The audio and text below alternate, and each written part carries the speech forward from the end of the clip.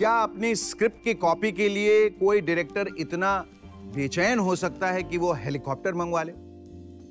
और 8000 फीट की उड़ान भरे? बात तो हैरान करने वाली है। मगर है सच, किस्सा है देवानंद की फ़िल्म हरे रामा, हरे कृष्णा का। देव साहब काठमांडू में फ़िल्म हरे रामा, हरे कृष्णा की शूटिंग कर रहे थे। एक दिन शूटिंग के दौरान उन्होंने देखा कि एक नौजवान दूर खड़ा, बड़े गौर से उनकी शूटिंग देख रहा है। देव साहब ने किसी को कहा, भाई, पता करो ये कौन है? उन्हें जब पता चला कि वो लड़का वहाँ के राजकुमार ज्ञानेंद्र हैं तो देव साहब ने उन्हें बाकायदा अपने साथ बैठने के लिए इनवाइट किया।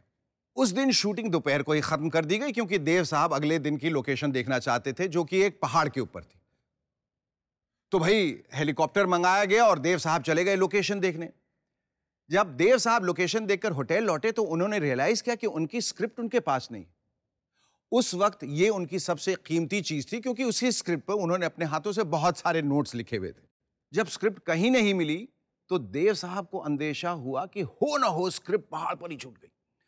अब सवाल यह था कि रात गिरने से पहले उसे लाया कैसे जाए? क्योंकि सुबह तक हवा, बारिश, उसका क्या हाल करती, कोई नहीं कह सकता था। सबने मना किया कि स्क्रिप्ट के लिए पहाड़ पर जाने का कोई फ़ायदा नहीं है, पर देव साहब, बस देव साहब, नहीं माने।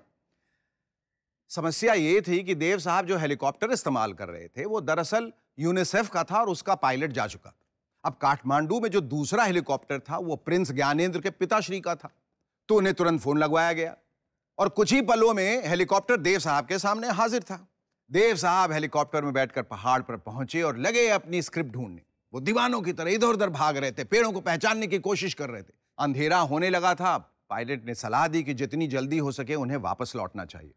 देव साहब, थके हारे निराश होकर हेलीकॉप्टर की तरफ़ लौटने ही लगे थे कि अचानक उन्होंने देखा कि एक झाड़ी में कुछ पन्ने फड़फड़ा रहे वो दौड़ कर गए। देखा उनकी स्क्रिप्ट ढलान पर एक झाड़ी में अटकी पड़ी थी। छूटती तो हमेशा के लिए गुम हो जाती। लाइट्स, कैमरा, किस्से में देवानंद की दीवानगी का यह किस्सा भी खूब है।